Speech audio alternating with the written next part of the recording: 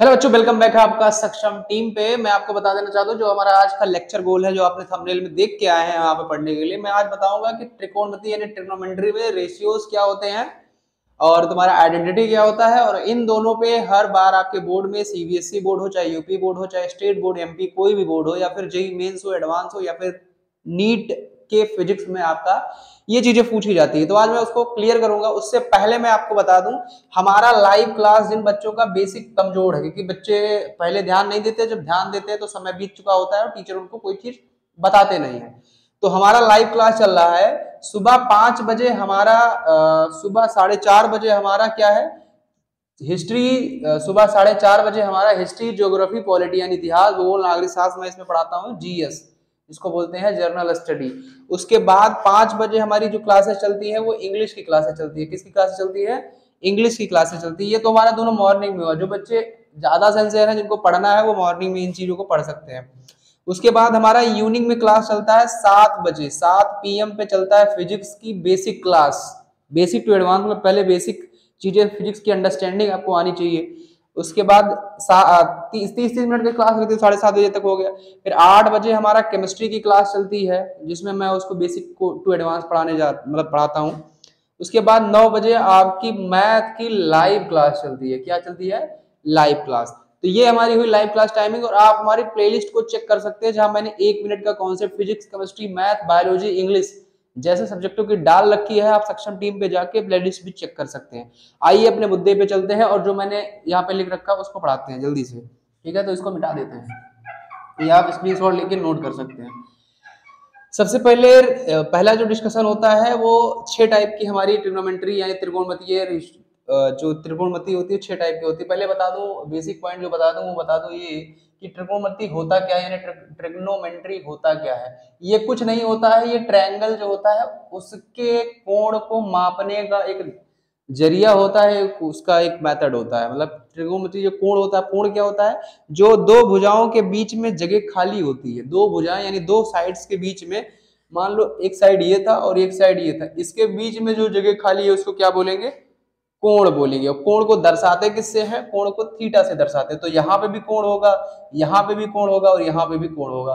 मान लो यहाँ पे ड्रॉ करते तो जहाँ जिस जगह पे खाली है, दो भुजाएँ हो गई तो इसके बीच में जगह खाली इन दो भुजाएँ हो गई तो इसके बीच में जगह खाली तो उसको क्या बोलते हैं? कोण बोलते हैं। तो इसी कोण और भुजा को मतलब साइड को और एंगल को मेजर करने के लिए रिलेशन में लाने के लिए हम टिग्नोमेट्री पढ़ते हैं। ठीक है? तो सबसे पहले छह टाइप की ट्रिग्नोमेट्रिक फ़ंक्शंस होते हैं। सबसे पहले होता है साइन थीटा फिर होता है कॉस थीटा फिर होता है टेन थीटा फिर होता है कॉट थीटा फिर होता है तुम्हारा सेक थीटा फिर होता है तुम्हारा कॉसेक थीटा ये छह टाइप के होते हैं। कितने टाइप के होते हैं? छह टाइप के होते हैं। ये एक दूसरे में इंटरकनेक्टेड होते हैं। थोड़ा हम बता दें और इसका। तो साइन थीटा जो होता है उसका उल्टा जो होता है वो कॉसेक थीटा होता है। क्या होता है? कॉसेक थीटा होता है। तो अगर यहाँ से एक और फॉर्मूला अगर हम निकालना चाहें तो एक तो ये आइडेंटिटी हो गई आपकी। क्या हो गई? आइडेंटिटी हो गई। अगर यहाँ से एक फॉर्मूला और निकालना चाहे तो इसके नीचे एक मान के इसका गुणा करा दो। तो गुणा करा दो देखे तो हो जाएगा sine theta into cosec theta is equal to क्या हो जाएगा? वन तो ये आपका एक फॉर्मूला बन जाता है। और टेन थीटा का जो उल्टा होता है ना, वो होता है वन अपॉन कॉड थीटा क्या होता है? कॉड थीटा तो यहाँ से एक और फॉर्मूला बन जाएगा tan theta into cot theta is equal to क्या हो जाएगा? वन हो जाएगा। ये तो तुम्हारा हुआ दूसरा। अगर हम तीसरे पॉइंट की बात करें तो जो कॉस थीटा होता है, वो क्या हो जाता है? वन अपॉन क्या? सेक थीटा क्या हो जाता है? सेक थीटा तो इसका एक और फॉर्मूला बन जाएगा cos theta into sec theta is equal to क्या हो जाएगा? वन हो जाएगा। ये तो था कॉन्सेप्ट अब इस पे एग्ज़ाम्पल लेके मैं आपको समझाना चाहता हूँ कि ये कब यूज़ होगा। तो मान लो कि अगर साइन तीस डिग्री दे रखा है, कितना? साइन साइन तीस डिग्री आपको दे दिया है इंटू कौशिक तीस डिग्री दे रखा है, कितना? तो आप धड़ल्ले से अगर गुड़ा हो रहा है तो धड़ल्ले से क्या बोल देंगे? वन बोल देंगे। क्या बोल देंगे? वन। क्यों? क्योंकि थीटा की वैल्यू कुछ भी हो सकती है। Zero degree thirty degree forty five degree sixty degree ninety degree, कुछ भी। तो यहाँ से इस फॉर्मूले का यूज़ आप करेंगे। एक एक और एग्ज़ाम्पल लेते हैं। मान लो तुमको दे दे, क्या दे दे? टेन दे दे आपको 360 और इंटू कॉट भी क्या दे दे 360 तो आप बिना देखे, बिना पेन चलाए क्या लिख देंगे? एक लिख देंगे। तो यहाँ से इस फॉर्मूले का प्रयोग कर सकते हैं। और एक चीज़ और आपको बता दें कि जैसे sine theta one upon cosec theta होता है, वैसे cosec theta one upon sine theta होता है। तो इसका जस्ट क्या हो जाता है? रिवर्स यानी कि उल्टा होता है। तो आपको इधर हम शॉर्ट में अगर लिखवाना चाहें, इधर हम डिब्बे में आपको लिखवा देते हैं इधर। आप इसको अपने कॉपी में जो है शॉर्ट नोट में लिख सकते हैं।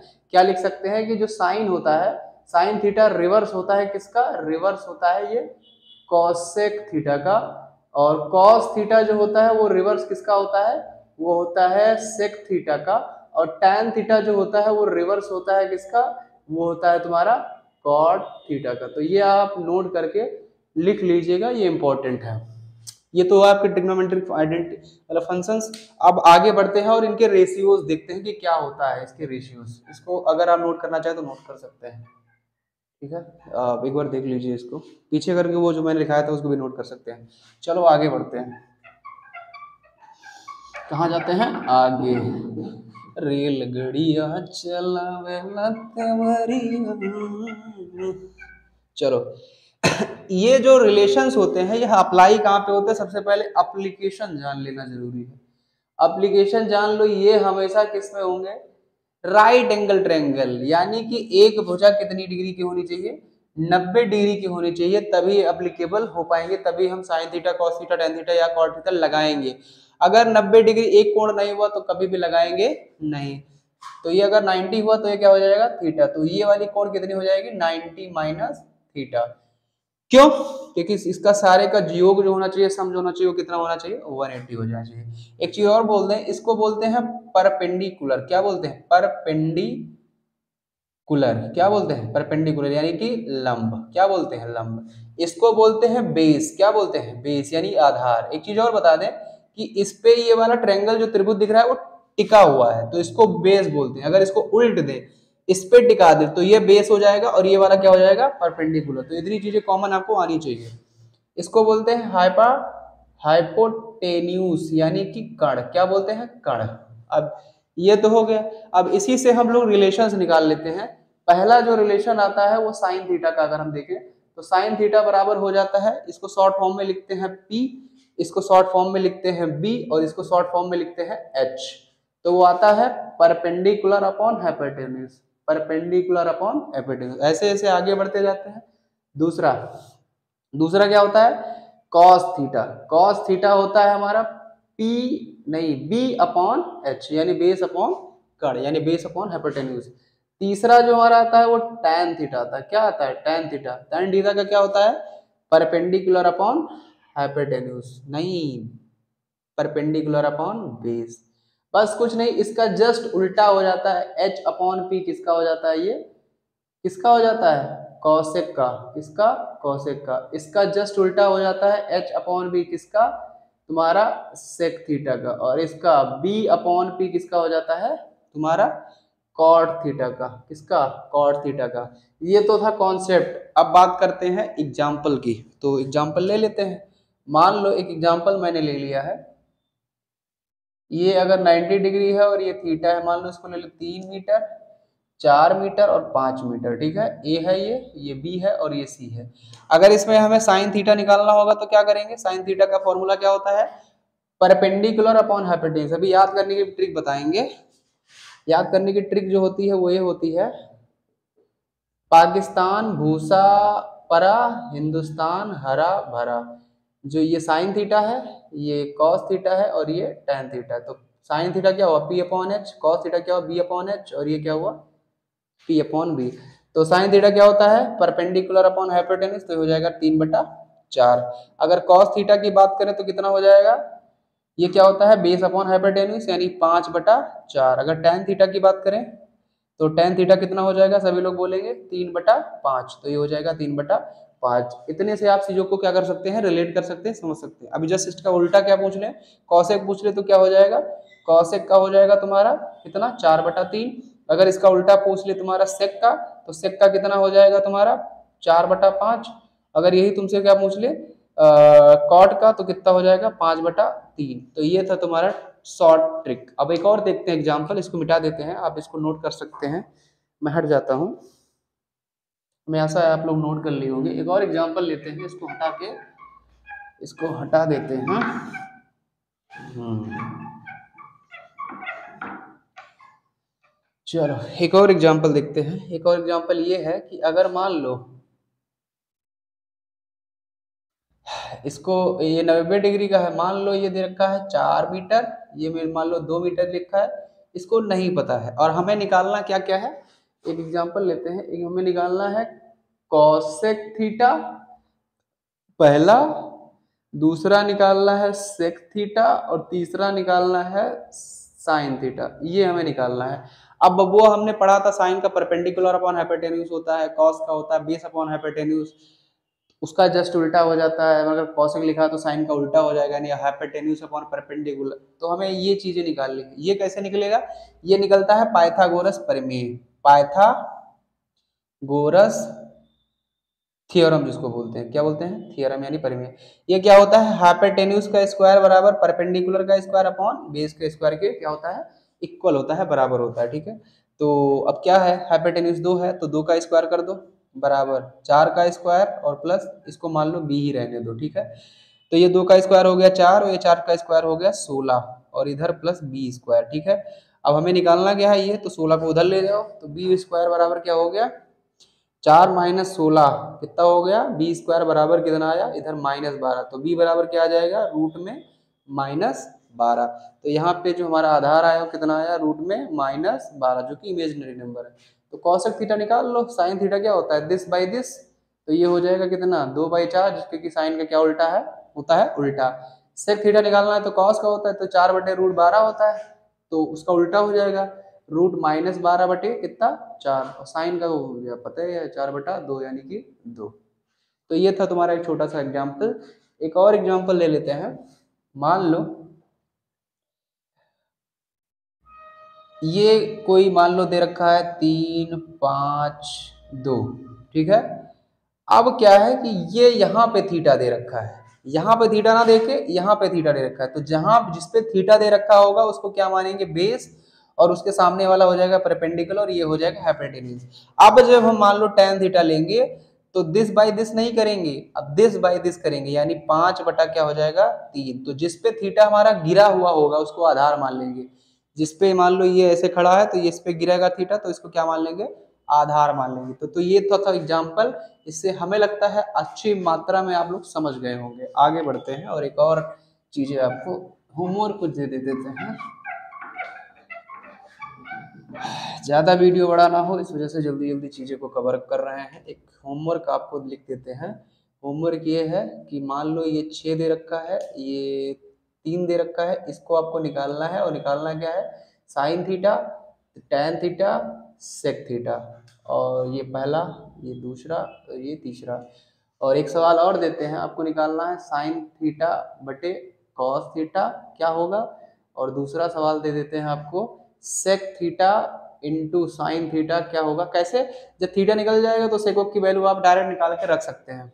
उसके बाद एक और दे देते हैं tan theta plus one upon यहाँ पे सेक थीटा। तो ये इतने सवाल आप ट्राई करेंगे, नहीं लगता है तो आप कमेंट बॉक्स में या फिर टेलीग्राम पे जुड़ के आप डिस्क्रिप्शन में जाइए, टेलीग्राम पे जुड़िए, वहाँ पे स्क्रीन इसका फ़ोटो खींचिए और वहाँ पे भेजिए, मैं इसको सॉल्व करूँगा। ऑल द वेरी बेस्ट आगे बढ़ते हैं आइडेंटिटी की तरफ़। अब आइडेंटिटी क्या होता है? आइडेंटिटी का मतलब होता है कि दो फ़ंक्शंस को रोड आपस में मिलाने का काम करता है। पहली आइडेंटिटी अगर देखें तो अगर साइन थीटा है साइन स्क्वायर थीटा है और कॉस स्क्वायर थीटा है, क्या है? कॉस स्क्वायर थीटा है तो कितनी हो जाएगी? वन हो जाता है। ये कैसे होता है? एक बार देख लेते हैं। क्यों? क्योंकि ये होता है पी ये होता है बी और ये होता है एच तो साइन थीटा क्या होता है? पी अपॉन एच होता है। यानी कि होगा P square upon H square cos क्या होता है? बी तो ये हो जाएगा B square upon H square नीचे एच स्क्वायर सेम है तो P square plus B square upon क्या हो गया? H square. और हमें पता है पाइथागोरस प्रमेय से कि एच स्क्वायर बराबर P square plus B square. तो इसके जगह पे क्या रख सकते हैं? H square upon H square. H square से स्क्वायर कर गया, वन आया और वन बराबर वन क्या हो जाएगा? प्रूफ। तो यहाँ से हम इसकी प्रूफिंग भी देख सकते हैं। इतनी चीज़ें हम यहाँ से संभाल सकते हैं। तो पहली आइडेंटिटी, अब यहीं से कई आइडेंटिटी निकाल सकते हैं। यहाँ से क्या कर सकते हैं? साइन थीटा को क्या लिख सकते हैं? One minus cos square theta. और यहाँ से साइन थीटा को क्या लिख सकते हैं? रूट में one minus cos square theta, क्योंकि स्क्वायर हटा क्या लग गया? रूट में। तो ये पहले, और वैसे ही कॉस स्क्वायर थीटा को क्या लिख सकते हैं? ये हो जाएगा one minus sine square theta, और कॉस थीटा क्या लिख सकते हैं? रूट में क्या लिख सकते हैं? One minus sine square theta. तो ये आप ऐसे ऐसे चीज़ों को प्रूफ कर सकते हैं। कुछ आइडेंटिटी हम आपके सामने लिख देते हैं, प्रूफ आप ऐसे कर सकते हैं। और बेसिक आइडेंटिटी लिख देते हैं, ज़्यादा कुछ नहीं लिखेंगे ज़्यादा। दूसरा आइडेंटिटी लिख देते हैं one plus tan square theta बराबर सेक स्क्वायर थीटा तो यहाँ से एक और फॉर्मूला बन के आता है हमारा। Sec square theta minus tan square theta is equal to one ये एक आइडेंटिटी है। तीसरा बात करें तो one plus cot square theta is equal to क्या हो जाता है? कॉसेक स्क्वायर थीटा तो यहाँ से cosec square theta minus cot square theta is equal to क्या हो जाएगा? ये एक आइडेंटिटी बनती आती है। चौथी आइडेंटिटी की अगर बात करें तो कॉस टू थीटा का फॉर्मूला होता है one minus two sine square theta, और इसी का एक और फॉर्मूला होता है two cos square theta minus one, और इसी का एक और फॉर्मूला बन गया आता है cos square theta minus sine square theta, यहाँ पे एक और फॉर्मूला। तो ये सारी क्या होती है? आइडेंटिटी होती हैं। बहुत बहुत धन्यवाद, आभार। इस पर आप सवाल भी लगा सकते हैं। एक एग्जांपल लेते हैं। मान लो साइन स्क्वायर तीस प्लस कॉस स्क्वायर तीस क्या हो जाएगा? ये हमेशा वन, क्योंकि थीटा की वैल्यू कुछ भी रहेगी सेम होनी चाहिए तो क्या हो जाएगा? वन हो जाएगा। एक और फॉर्मूला आपके सामने लिख देते हैं।